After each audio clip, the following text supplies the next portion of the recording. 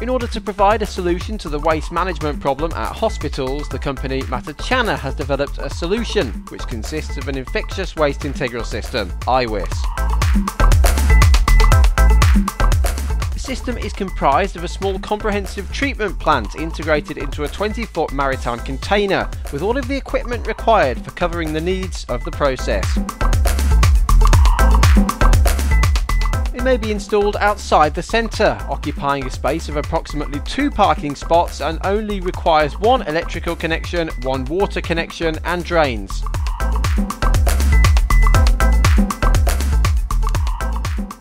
Once the special biocontaminated waste has been properly classified, suitable containers are used to transport the waste to the IWIS that is located outside the building.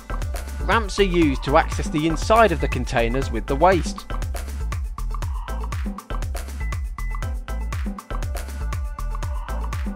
If the steriliser is executing a cycle at that moment, the container, the one used for transporting the waste and which has the bags inside it, is stored inside the refrigerator with the lid open and at a temperature of 4 degrees Celsius.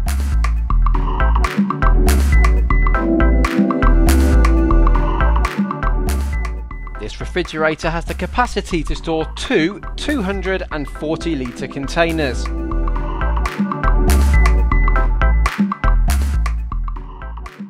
Once sufficient load is available to start a cycle, the steriliser is loaded with the autoclave bags, removing the seals from the bags.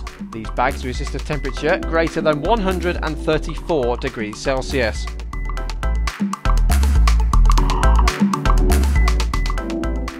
For safety reasons, it is essential for the operator to be equipped with the proper personal protective equipment while carrying out tasks inside the IWIS.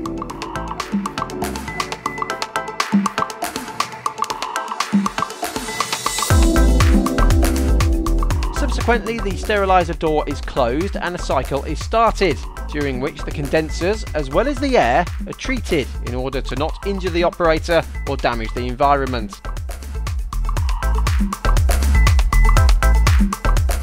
Once the cycle is complete and the treated waste is unloaded, the next step is started, which consists of shredding the waste in a manner that is completely safe for the operator since the waste is sterile.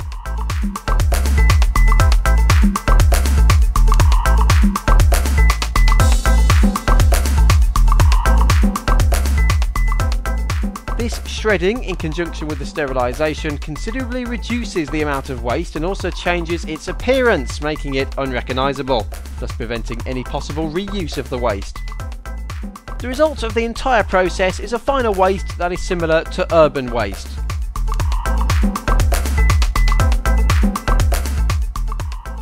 Worth mentioning is that the container includes a physical separation between the working areas and the technical area, which is where the maintenance of the equipment is carried out. Also, these areas have completely different accesses. The container also includes a CSC plate, which makes it suitable for maritime transport. This way, it can be shipped to any part of the world without needing to be loaded inside a bay.